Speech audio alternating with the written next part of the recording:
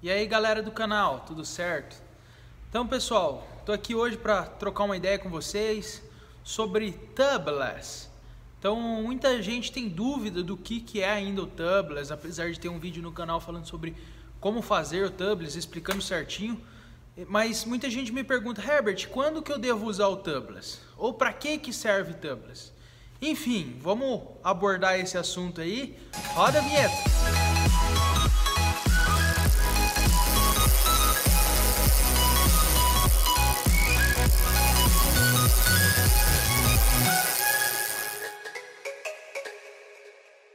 Então, pessoal, é, falando a finalidade do tubeless na mountain bike, a gente tem que entender primeiramente sobre calibragem de pneu, né? ou seja, pressão dos pneus da, da bike. Então, falando na pressão dos pneus da bike, o que, que acontece? É ciente de que a pressão na mountain bike, rodando na, na estrada de chão, a pressão mais baixa, ela tem algumas vantagens no uso da mountain bike. Exemplo, a pressão mais baixa, ela dá um controle maior da bicicleta em curvas. Então, na hora de você fazer curva, o pneu com a calibragem mais baixa, ele vai estar mais aderente ao solo. Isso faz com que a bicicleta tenha mais controle na dirigibilidade dela. Ou seja, o pneu mais duro, ele vai ter menos aderência e, consequentemente, até depender de uma pedra meio pequena, pegar na, na parte do contato, acaba limpando. Quando o pneu está mais macio, dianteiro, é, esse pneu ele deforma, fazendo com que é, ele dê mais aderência, independente se ele pegar algum obstáculo no caminho. Então, primeiro benefício da calibragem mais baixa é essa questão que você consegue entrar em curvas e ter mais controle da bicicleta. Segunda vantagem da calibragem mais baixa no pneu traseiro é o conforto, tanto no dianteiro quanto no traseiro. Então aquela pedra, aquela trepidação que você teria com o pneu muito cheio, no pneu mais murcho, a calibragem mais baixa, o pneu ele vai absorver melhor essa trepidação. É, isso é o caso das bikes, das Fats, das Six Fats, que até eu fiz um review no, aqui no canal da Fuse Six Fat. Se vocês quiserem dar uma olhada, eu vou deixar na descrição desse vídeo o link da Fuse e o link também do Tubeless para vocês verem como que funciona o Tubeless. Mas enfim, vamos voltar ao assunto. A calibragem mais baixa faz com que dê também mais conforto falando em relação à trepidação na rolagem do pneu. Outra vantagem que dá também na bicicleta é a tração. Ou seja, a bicicleta com a calibragem mais baixa, você consegue mais tração. Porque o pneu, principalmente às vezes pega uma quina ou pedra solta, a hora que o pneu bate naquela quina, ele faz o, a moldagem da quina. No review da Fuse tem mostrando certinho como que o pneu molda. Então a calibragem mais baixa, ela molda fazendo com que tenha mais tração na hora de uma arrancada, numa, na hora de uma subida que você pega com pedra solta. Então, essa é mais uma vantagem da calibragem mais baixa. Né? Então, falando em calibragem mais baixa, a gente trabalha no limite quando usamos câmara de ar. Porque a câmara de ar, quando ela está numa calibragem abaixo do permitido, da câmera, vamos dizer assim, conforme o peso do ciclista, é muito comum você ter mordida de cobra né? É dois rasguinhos que é feito na câmera, dois rasguinhos que é feito na câmera devido bater o aro na câmera, o aro morder a câmera e fazer com que fure a câmera por questão da calibragem estar tá muito baixa. Então, essa é a vantagem do, do uso da calibragem mais baixa.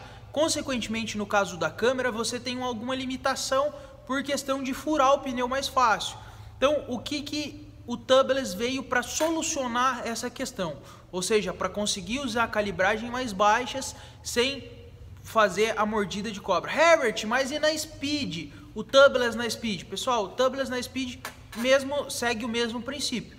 Por quê? A speed, a calibragem que o pessoal costuma andar é 100, 110 libras. Algumas pessoas rodam menos que isso, 80, 90, mas também facilita muito a, o corte da câmera, o próprio mordida de cobra. Aí o que, que acontece? Também veio o tubeless para conseguir usar aí 80, 90 libras. Como o pneu da, Speed ele é bem diferente do da mountain bike, falando estruturalmente, consegue usar 80, 90, 70 libras. No caso da gravel eu estou usando 55, andando na estrada de chão e dá um conforto muito maior. Então o tubeless, tanto na mountain bike quanto na Speed, ele tem o mesmo benefício. É para ser usado calibragem mais baixa permitir usar calibragem mais baixas para com que você ganhe conforto, aderência e dirigibilidade e um, é, essas, esses benefícios que eu falei da calibragem mais baixa. Então vamos lá, falando agora no tubeless. O que, que acontece com o tubeless? É uma outra vantagem agora do tubeless em si. O tubeless ele vai líquido interno, ele vai um selante por dentro do pneu para vedar os microsporos do furo do pneu. Consequentemente, esse líquido que vai interno acaba vedando furos que podem acontecer na, na trajetória da rodagem. Então, o tubeless ele acaba vedando furos de arame, furos de prego. Até no caso da minha gravel, vocês entrarem lá no Insta do canal, vocês vão ver que tem um furo lá de um prego relativamente grande que o meu tubeless vedou.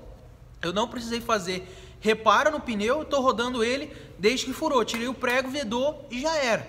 Então assim, o líquido interno do tubeless, ele serve para fazer a vedação do pneu em relação ao aro e os microfuros do pneu.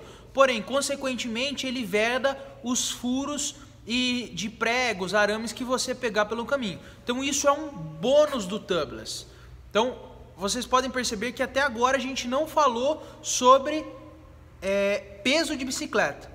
Né? Então, se você faz tubeless pensando em peso, roda de câmara de ar. Existe câmeras de ar em mercado mais leves do que você fazer tubeless na bike. Ah, Herbert, mas eu vou tirar a câmera. Tá, você vai tirar a câmera, você vai adicionar um bico, que seria o bico da câmera, você vai adicionar duas voltas da fita que protege o aro, então você vai adicionar duas voltas dessa fita, você vai adicionar mais, se for numa mountain bike, em torno de 120 ml de líquido, 120 gramas. Tem câmeras de ar que pesam menos que isso. Então, se você falar em relação a peso de rodagem, a peso de roda, você consegue câmeras de ar mais leve que o próprio tubeless. Mas a rolagem dos dois são diferentes. A rolagem do tubeless é muito melhor que a rolagem da câmera, devido a essa questão da calibragem mais baixa. Então, é, qual que é a calibragem de tubeless, Herbert? Vai depender de pneu para pneu e de marca para marca. Em média, na mountain bike, a calibragem máxima é 35 libras, podendo chegar a 40 libras, mas a máxima em média é 35. Se você usa tubeless e usa a calibragem máxima, não sei o que você está fazendo com o tubeless.